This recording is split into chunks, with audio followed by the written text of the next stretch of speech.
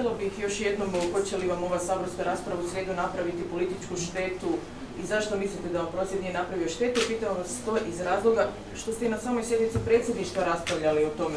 Očito ocjenjujete to važnim. Dobro, što ćemo mi sada a, se praviti da ne vidimo, ne čujemo, ne govorimo, zašto se ne bi osvrnuli na političku situaciju? Pa svaka naša sjednica ima aktualnu političku situaciju.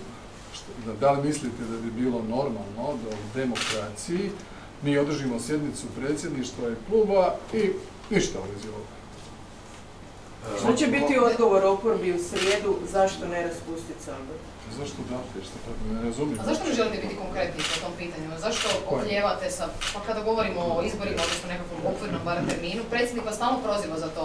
Kaže da je to kukavički da ne želite... On je potpuno nebitan u tom smislu, dakle on bi se trebao držati svojih ustavnih ovlasti, on se ne drži, on je u biti predvodnik cijela ove ekipe. Dakle, imamo njega koji u potpunosti iskoračuje svojih ovlasti, Znate, kad mu nešto ne paše u pravosuđu, onda udara najgrublje na DORH, udara najgrublje na USKOK, udara najgrublje na sudove, cijelo vrijeme udara na vladu, udara na ministre, HDZ proglašava nacističkom strankom. E, kada mu mi odgovorimo, odgovorimo uvijek kako treba, onda je to svakako.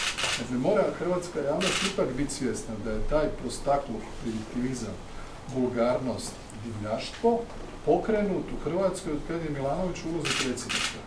Sjetite se razdoblja u političkom smislu dijaloga, razmjena, prije nego što je on postao predsjednik, bilo je ispada, ali to nije bila glavna tema. Zato sam i rekao, zahvaljujući tome što im je on nekakav uzor, sada baš svaka nebitna šuša, potpuno nebitna šuša, pritom i ne osobito pametna, misli da može pljuvat po svakome bez reakcije.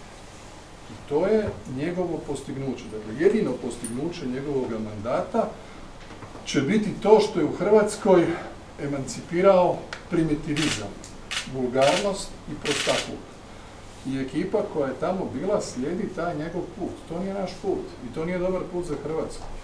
Znate, naš put, to sam rekao u Rijeci, moj put je Edi Kučan. Edi Kučan je inače predsjednik uprave 3. maja, s kojim smo sjeli 2019. i rekli, Edi, teška je situacija, da li vam mogu vjerovati?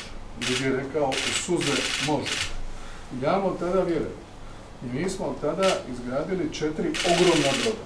Održali 900 ljudi da rade i da prehranjuju svoje obitelji. I da Hrvatska brodogradnja u Rijeci, u kojoj, by the way, veliki usput budi rečeno, SDP na vlasti funkcionira. Ne radi gradonačelnika, ne radi župana, nego radi povjerenja mene kao predsjednika vlade i predsjednika HDZ-a sa čelnikom te kompanije koju mi pratimo.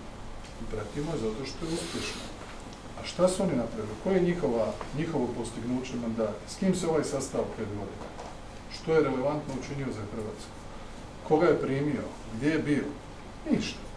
Dakle, te razlike između te nevjerojatne mržnje koje oni iskazuju i naših postignuća, po to su vam tako velike razlike da imate, ne znam, planinu postignuća i imate jedan ambis laži. To je to.